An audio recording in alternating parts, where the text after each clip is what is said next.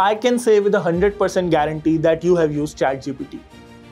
ChatGPT has practically changed the lives of hundreds and millions of teachers, developers, and almost every profession you can think of. I can't imagine my life without ChatGPT, and most probably you cannot either.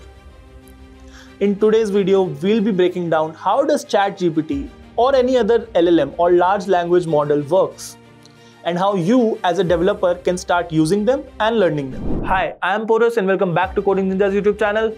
And without wasting any more time, let's get started. Alright, let's start with the basics. LLMs or large language models are a type of artificial intelligence that can understand, generate and manipulate human language.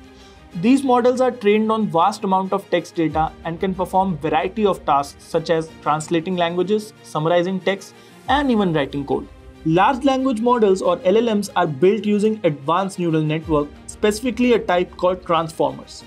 Transformers have revolutionized the field of natural language processing by allowing models to handle much larger datasets and learn complex patterns in data. Let's start by understanding the transformer architecture. Unlike traditional neural networks, transformers use a mechanism called attention which allows the model to focus on different parts of the input sequence to understand the context better. The attention mechanism helps the model weigh the importance of different words in a sentence, making it possible to capture dependencies that are far apart in the text.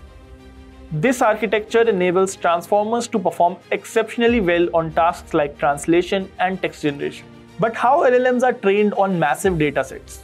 LLMs are trained on massive datasets that include books, articles, websites, and more. This extensive training helps the model learn a wide range of language patterns and contexts. During training, the model is exposed to billions of words and learns to predict the next word in the sentence. This process called language modeling helps the model understand the structure and meaning of the text. Then comes the part of predicting the next word. One of the core tasks in training LLMs is next word prediction. By predicting the next word in a sequence, the model learns to generate coherent and contextually relevant data. For example, if the input is the cat sat on the, the model predicts mat as the next word. This prediction capability is foundation of many applications such as text completion and dialogue generation. And then we fine tune for specific tasks. One trained, these models can be fine tuned for specific tasks, making them incredibly versatile. Fine tuning involves training the model on smaller task specific dataset to improve its performance on that task. For instance, a general language model like GPT-3 or 4 can be fine-tuned to create a customer service chatbot by training it on dialogues from customer service interactions. And then comes the part of generating human-like text. After training and fine-tuning, LLMs can generate human-like text based on the prompts you give them. This ability is used in various applications, from writing assistants to automated content creation. You can provide a prompt like once upon a time and the model will generate a continuation such as there was a kingdom where everyone loved coding. And these were the basic fundamentals on which all of the LLMs are built. But as a developer, how can you build your own LLM? Now let's get into the nitty gritty of how you can start working with LLMs.